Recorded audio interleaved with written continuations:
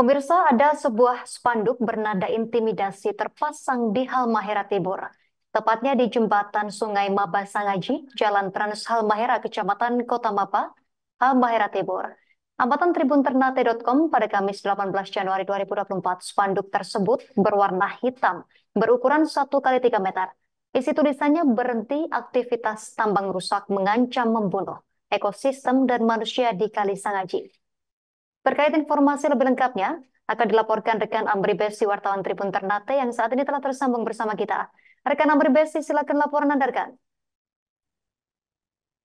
Ya, terima kasih Yusnita. Uh, membenar ada sebuah sepatu bernada dasi terpasang di Halmahera Timur bahwa tepatnya di jembatan Sungai Mabasangaji, uh, Kecamatan Kota Maba, Kabupaten Halmahera Timur.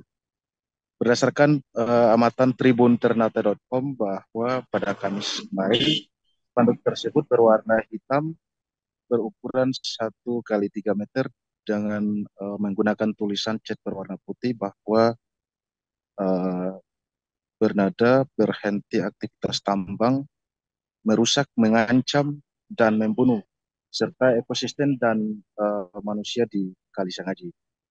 Ya sebelumnya uh, Tribuners bahwa uh, di kali tersebut juga uh, menjadi perhatian pusat masyarakat Kabupaten Halmahera Timur karena uh, selain spanduk yang ditemukan oleh Telekom, adapun uh, seorang uh, salah satu warga yang uh, sebagai pengendara sepeda motor Faisal Doro juga uh, membenarkan bahwa uh, spanduk itu dipasang sejak kemarin sehingga dirinya menyarankan kepada Tribun Ternate.com untuk uh, berkonfirmasi langsung dengan pemerintah desa.